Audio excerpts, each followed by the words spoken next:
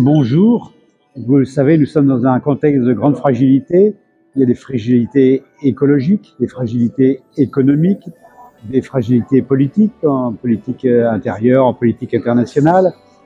Et dans ce contexte de fragilité, voici que naît Jésus, le Fils de Dieu, il vient précisément dans la fragilité. Alors, le message que je vais vous dire, c'est n'ayez pas peur de Dieu, n'ayez pas peur d'ouvrir votre porte Seigneur, parce qu'il est celui qui vient nous rejoindre dans nos fragilités.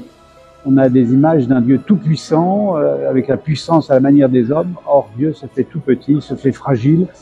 La première fragilité qu'il connaît, c'est celle de l'embryon. Voilà, il naît dans le sein de la Vierge Marie.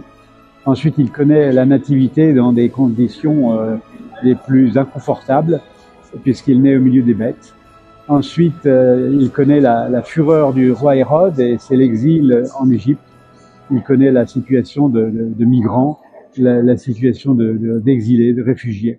Donc vous voyez, n'ayez pas peur de Dieu parce qu'il vient vous rejoindre et vous consoler dans les fragilités. La deuxième chose que vais vous dire, c'est regarder comment, lorsqu'on accueille Jésus, comment il rassemble. Derrière nous, nous avons une magnifique crèche et nous voyons que dans cette crèche, euh, sont rassemblés Marie, Joseph, les bergers,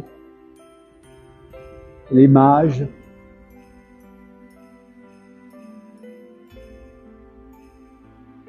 Jésus euh, est accueilli, il rassemble, il unit ceux qui sont euh, dispersés, il unit ceux qui sont très différents.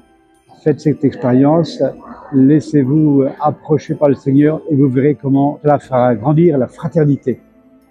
Troisièmement, regardez comment euh, le Seigneur il nous invite nous-mêmes à, donner ce que nous avons donné. Et chacun est amené à donner le, le meilleur lui-même au service de cet enfant. On voit d'abord Marie, Joseph, et puis les, bergers qui viennent avec leurs moutons, et puis les mages qui viennent avec ce qu'ils ont, l'or, l'encens, la myrrhe. Eh bien, nous aussi, euh, apportons ce que nous sommes, ce que nous avons très simplement.